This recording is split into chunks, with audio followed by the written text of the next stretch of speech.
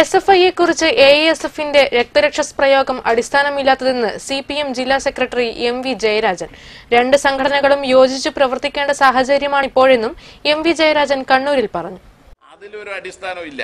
അതിൽ അടിസ്ഥാനരഹിതമായിട്ടുള്ള ആക്ഷേപങ്ങളാണ് എസ് എഫ് ഐ തന്നെ നേരത്തെ വ്യക്തമാക്കിയിട്ടുണ്ട്. എസ് എഫ് ഐ ഒരിക്കലും രക്തരക്ഷസാവില്ല. രക്തരക്ഷസാവാൻ കഴിയില്ല. ആ അഭിമന്യുവിന്റെ ജീവൻ എടുത്തവർ ആ വർഗീയ ശക്തികൾക്കെതിരായി പൊരുതേണ്ട കാലത്ത് എസ് എഫ് ഐയും എ എസ് എഫും ഉൾപ്പെടെയുള്ള വിദ്യാർത്ഥി സംഘടനകൾ യോജിച്ചാണ് നിൽക്കേണ്ടത്.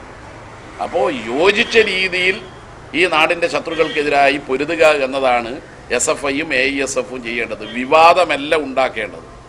എ എസ് എഫ് ഉൾപ്പെടെ ഇന്ന് നാട്ടിൽ ശരിയായ രീതിയിൽ പ്രവർത്തിച്ചു വരുന്ന സംഘടനകളാണ്. അതുകൊണ്ട് എസ് എഫ് ഐയും എ എസ് എഫും യോജിച്ച് പ്രവർത്തിക്കും. ഗൃഹസന്ദർശനത്തിലൂടെ ലഭിച്ചത് ഇടതുപക്ഷവും സി പി എമ്മും തകർന്നുകൂടാ എന്ന സന്ദേശമാണ് കിട്ടുന്ന അഭിപ്രായങ്ങൾ മുഖവിലക്കെടുത്ത് വേണ്ട തിരുത്തലുകൾ വരുത്തി ജനസേവനത്തിലൂടെ ഇടതുപക്ഷം അതിജീവിക്കും.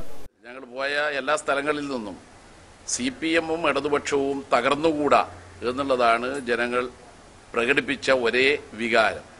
അതുകൊണ്ട് ആ വികാരം കണക്കിലെടുത്തുകൊണ്ട് കിട്ടിയ ജനകീയ അഭിപ്രായങ്ങളെയെല്ലാം ഞങ്ങൾ അതേ അടിസ്ഥാനത്തിൽ മുഖവിലക്കെടുത്തുകൊണ്ട് ആവശ്യമായ മാറ്റങ്ങളും തിരുത്തലുകളും വരുത്തി ജനസേവനത്തിനു വേണ്ടിയുള്ള പ്രവർത്തനം മുന്നോട്ട് കൊണ്ടുപോകും. അതിലൂടെ അതിജീവിക്കുക തന്നെ ചെയ്യും.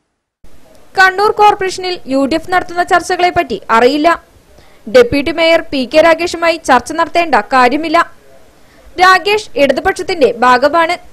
കോൺഗ്രസിൽ നിന്ന് ആളുകളെല്ലാം കൂട്ടത്തോടെ രാജിവെച്ച് പുറത്തേക്ക് പോകുമ്പോൾ രാകേഷ് കോൺഗ്രസിൽ ചേരുമോ അല്ല ഞങ്ങൾക്ക് ചർച്ച ചെയ്യേണ്ട കാര്യമില്ല. കാരണം രാകേഷിന്റെ പിന്തുണ ഇടതുപക്ഷത്തിന്റെ കൂടിയല്ലേ. ജനാധിപത്യമാണ് ഇടതുപക്ഷത്തിന് വഴി ബി ജെ പി പണാധിപത്യത്തിന് വഴിക്കാണെന്നും എം വി ജയരാജൻ പറഞ്ഞു. Seal News Kannur.